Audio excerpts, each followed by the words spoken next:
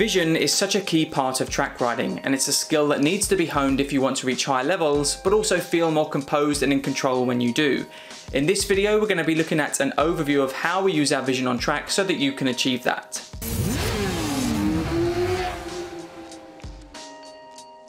It's no great mystery what ultimately holds us back from going faster as track day riders.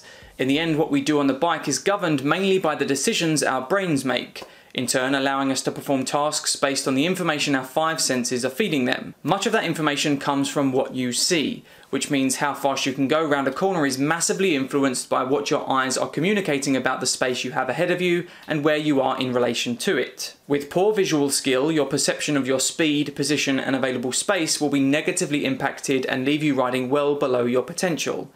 But what does poor visual skill actually mean?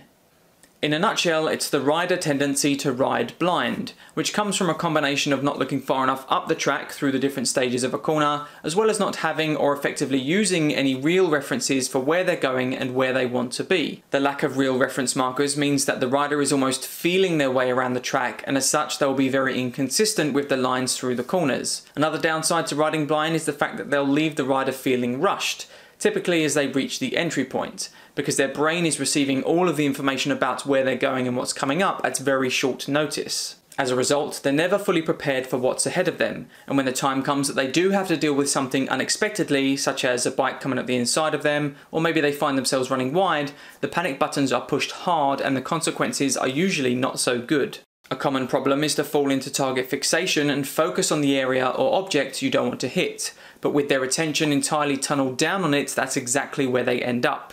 So what visual skills can we put in practice to combat all of this and put ourselves in greater control?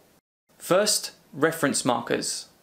By using reference markers around a corner, it gives us a way to map out exactly where we want to be and where we want to go, as well as a way to gauge whether or not we are correctly positioned for the different stages of that corner. In the end, you can map out your whole corner from your braking marker to your turn, apex and exit markers, and you're giving yourself a dot-to-dot -dot map to follow around the track.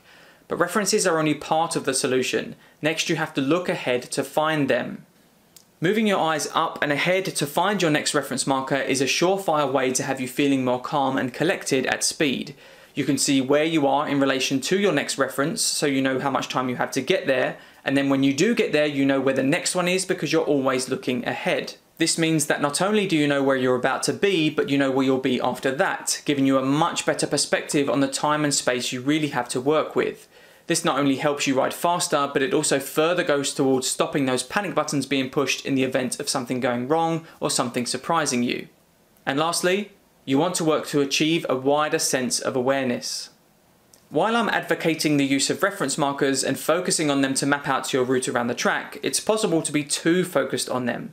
Focus too much on one marker to the point where you lose everything else and you're going to run into similar problems. Once you start to widen your vision, you'll eventually be able to see objects, markers and space without actually looking directly at them, taking your looking ahead and awareness skills to the next level and having you feel a whole lot more composed.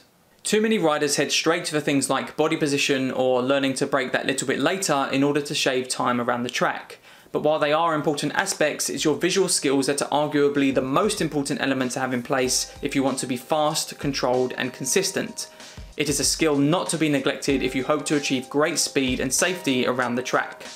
Have you had any vision revelations during your experiences on track? Tell us about it in the comments down below. And as always, if you like the video, then be sure to hit the button and share it with others. And if you'd like to learn more of this stuff, then be sure to grab my free comprehensive guide on track riding by clicking the link to the right or down in the description below. As always, I'll see you in the next one.